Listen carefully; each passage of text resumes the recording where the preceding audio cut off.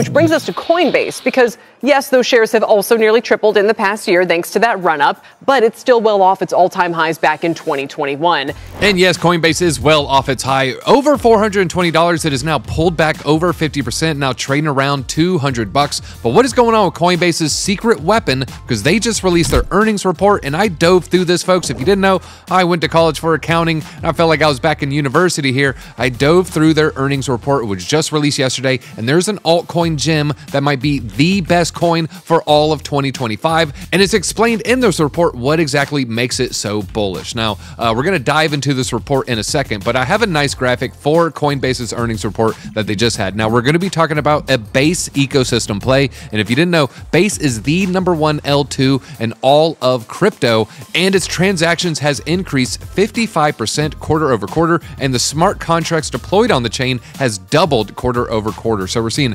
fantastic news when it comes to Base. Now, we're on DeFi Llama looking at all chains. This is total value locked in all chains, and Base is a top five play. And the coin we're talking about, Coinbase's secret weapon, is the number one protocol on the number five chain here. And if we go to Base, Yes, of course. Some of you have already guessed it. We are talking about Aerodrome, of course. Now, you can see the token price has been on some pretty wild runs. But the price was higher back in April when the total value locked was lower. This red line you're seeing is the amount of money locked up in the DeFi ecosystem called Aerodrome. The purple line is the token price. So the token price is actually down while the total value locked is soaring. And I'm reading your mind before you even say, well, what about the market cap? If you look at the market cap, we are at, you know, a, a little bit higher period we are with the market cap, but the TVL and the market cap stayed in line. And now you can see TVL exceeding market cap. And I think the market cap is going to catch up on this token. This token's about to have a wonderful run up. Now, I said I poured through their financial report, so you don't have to. And I found this buried on page four.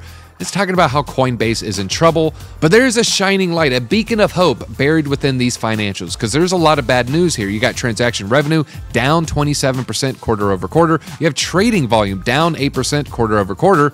But what's the good news? The good news came from a sector that had a little bit of outperformance. You can see here we saw relative outperformance in our institutional derivatives offerings in Q3. Well, what the heck does that mean? Institutional derivative offering? Well, in DeFi, derivative protocols are platforms that enable the creation and trading of derivatives, aka a DeFi protocol. But besides Coinbase launching Base ecosystem and Aerodrome is on Base, well, what is the connection here? Well, you might not know, Coinbase is a deep, deep investor in Aerodrome. Uh, now, Coinbase Ventures is their venture arm in which they invest in projects, and then Coinbase Ventures invested heavily in Aerodrome. Now, it's an undisclosed position, so we don't know exactly how much money they poured into this ecosystem, but we know they're the major player when it comes to Aerodrome. Now, Aerodrome has just been on a tear lately. You can see the swap fees have been increasing steadily, and you can also see the volume has also been increasing steadily. And so while the price is depressed slightly, you can see here when it comes to volume, when it comes to swap fees, we are at all time highs,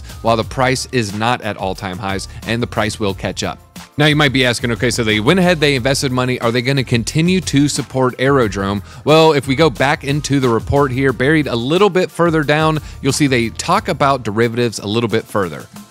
And in the report, they're spelling out they're going to focus on increasing Aerodrome customers. Now, they don't say it that way. The way they say it is increasing derivative users is a key area of focus, as we've seen derivative traders also tend to engage more with spot products as well. And so, Coinbase is going to be making a concerted effort in pushing more users into the Aerodrome ecosystem. Now, again, they're not saying Aerodrome in this report, but when they're talking about derivatives and they're talking about the derivatives offerings, they're 100% alluding to Coinbase Ventures and Aerodrome. And so when they say derivatives exposure is going to increase, you must assume Aerodrome Finance is going to be a big winner from this. Well, folks, that leaves us with two questions. One, Coinbase likes this token, but why should the users like this token? And also, what does the price action tell us? Well, the users are going to like this token because they get all the fees, everybody. Aerodrome broke another record. They collected $4.5 million in fees. This is the highest amount of fees they've ever got. And 100% of the swap fees are distributed to the holders. And so when you see veAERO holders, that are people participating in the staking, that is participating in their DeFi products,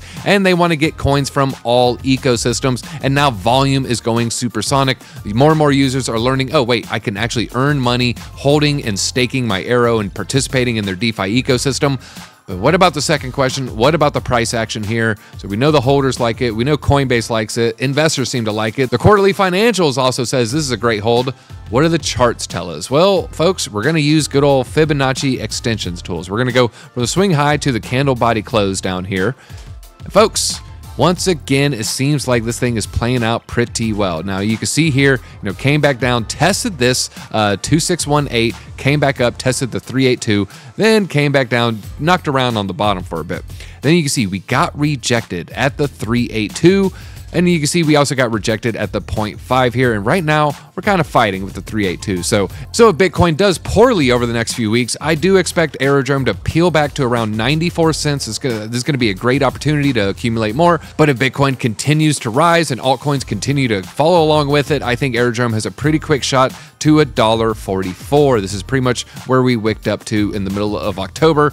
What about the next level after price discovery? I think after we break the 786 all the way up here, I think we're coming to the $2.38 level. And so I think there's a lot of room for AERO to the upside. If we were to measure that move, you're looking at essentially doubling your money. That is a 96% pump from here. So the charts do like Aerodrome as long as Bitcoin can hold on. Can Bitcoin hold on to these levels? If not, I think all altcoins are going to have a little bit of some pain ahead of it. So that's all I got for you today. I would not sleep on Aerodrome. I think it is the best coin in the base ecosystem. And I think the base ecosystem is going to be one of the best, if not the best L2 moving forward. A lot of attention. Coinbase Ventures got a lot of money and they're focusing a lot of their efforts into increasing users and increasing increasing exposure for Aerodrome indirectly through promoting the base ecosystem. So I'm a huge fan of Aerodrome. Hopefully, I'll see you and your base DeFi bags at the top.